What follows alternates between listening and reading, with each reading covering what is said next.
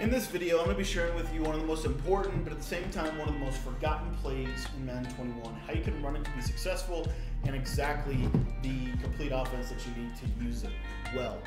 What's up, guys? My name is Cody, and my uh, my channel is all about helping people get better at Madden 21. If you want to get better at this game, I just want to encourage you right now to click the subscribe button at the bottom of your screen. It's completely free to subscribe, and it just allows you to be able to stay up to date with the latest tips and strategies right here on my YouTube channel.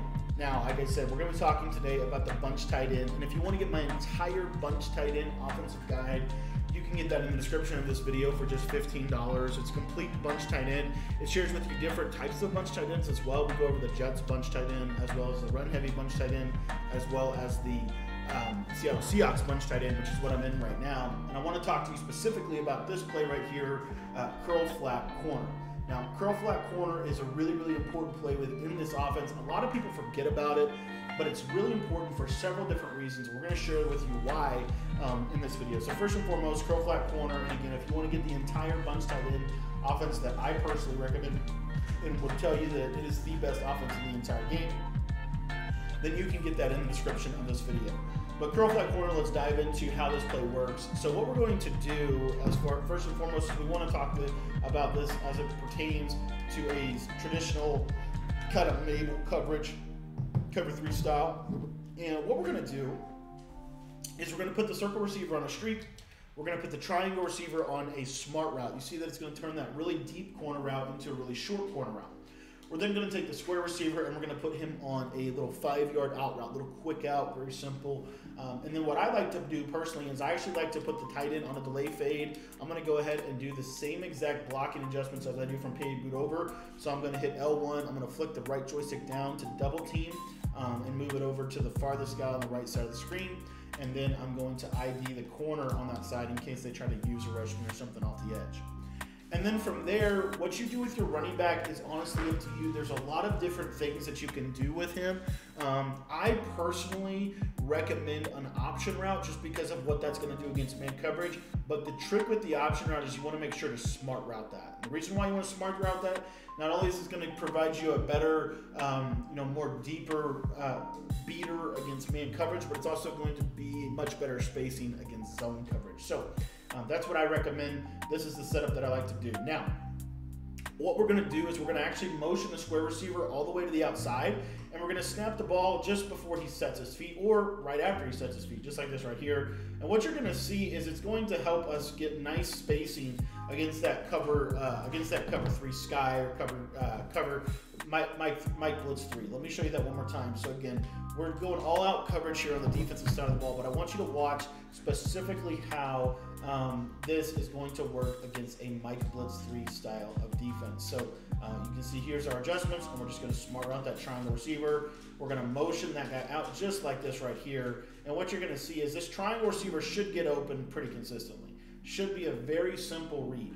Now, what I like about this is against match defense, right? If they're if they're running match defense, match coverage, um, this is actually going to do pretty good for a lot of different reasons.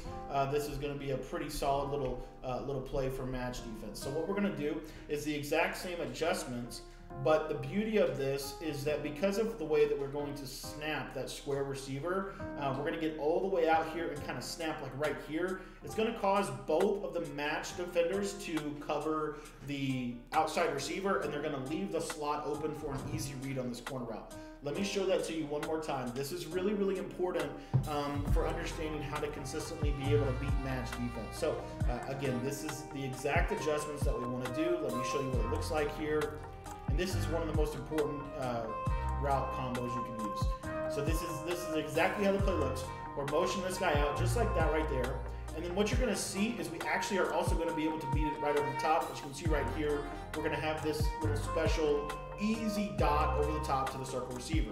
Now, there's a couple of adjustments um, that people can do from their match defense that they're going to try to do. So one of those is they're going to put this this safety on the bunch side. Almost always, if people are running um, match defense, the first thing they're going to do is they're going to put the safety on, and, and you're able to bomb their match defense. The first thing they're going to do is they're going to put their safety in the deep half.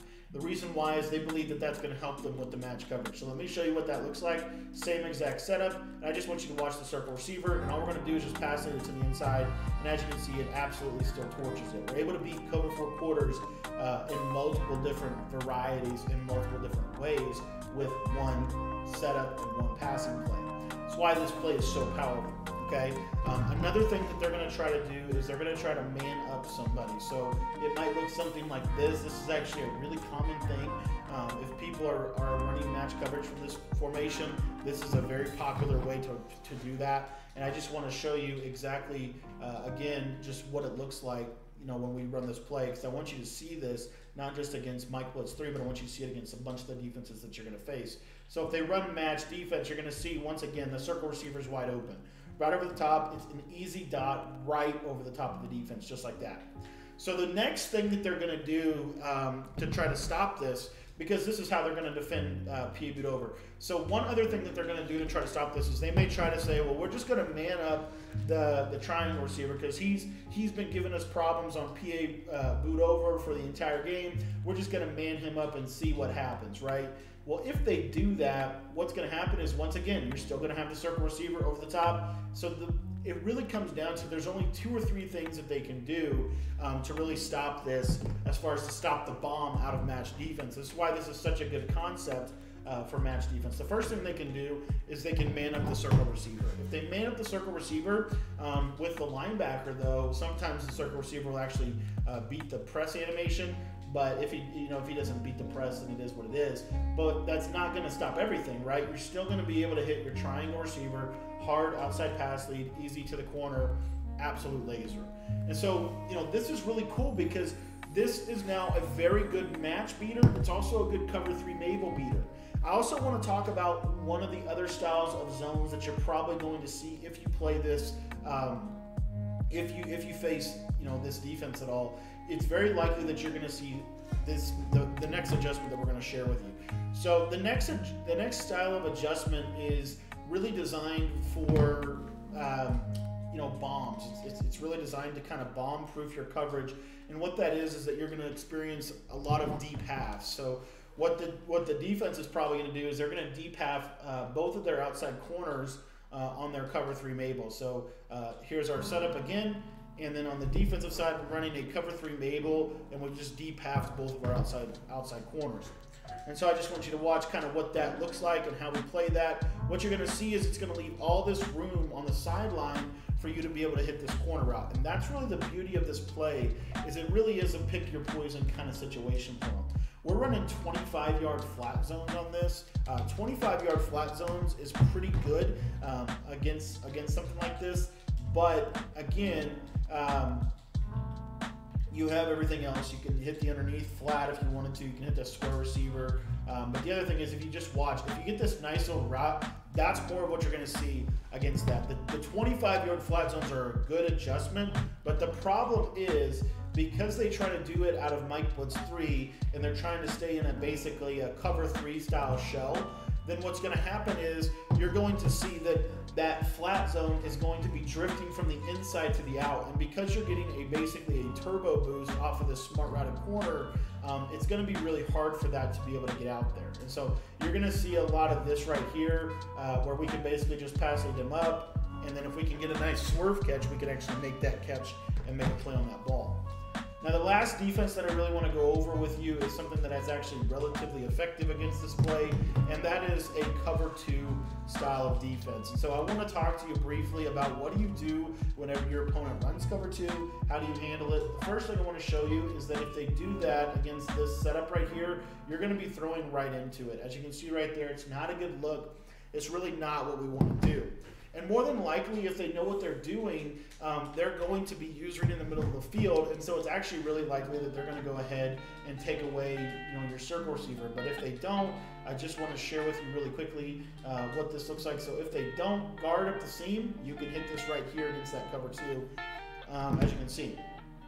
But the next thing that I want to share with you is if you're starting to notice that there's a trend and you're starting to notice that they're running a lot of cover two and they're basically using the streak, if you just leave this triangle receiver on his default route, um, it's a very deep inverted corner route. This is going to get over every zone drop in the entire game. As you can see right here, it's going to get over to the sideline relatively easily. Now, one other thing that I would recommend is you still want this to look exactly the same. I made a mistake on that last play because I didn't motion out that square receiver and it actually caused a little bit of problem with the coverage. So let me show you this route one more time. Um, this is why bunch tight end I think is so good because you have this route right here. I think this route is super, super underrated as you can see on the sideline. Right there, Kevin King made a pretty good play. But typically that route will get, um, will get to a pretty good spot on the field if they're running a lot of traditional cover two. Now it is a specific type of cover two that we're looking for. We're looking for that cover two where they've got their flats as their you know 25 to 30 yard zone. Um, that's really where it's going to come in handy because you're going to wait on it, wait on it, wait on it, wait on it, and then he's going to come inside just like that, and then you're going to have an opportunity on the sideline. So um, that's what you could do with this passing concept. The other thing that we haven't really gone over yet um, is man coverage. If they run man coverage, circle's probably not going to get open, square's probably not going to open, but your, your other three routes will. So your corner route will typically get open, as you can see right there on the sideline. Um, the other thing is your running back route will normally get wide open.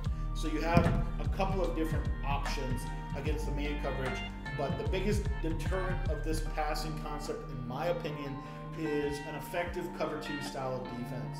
And so you want to kind of plan for that so that you can kind of build around that and build some things into your arsenal, like the delayed drag or the option route, which are both really good against a cover two, or even just a quick out if they're not having a disciplined cover two Mabel, or you even have your streak. So a lot of things that you can do with this passing concept to attack a lot of the field, but do be aware that really the number one thing that I think is going to be tough to, to compete on that side is a like 30 yard uh, cloud flat at a cover two, so out of like a Tampa two because the cloud flat needs to be outside of the slot.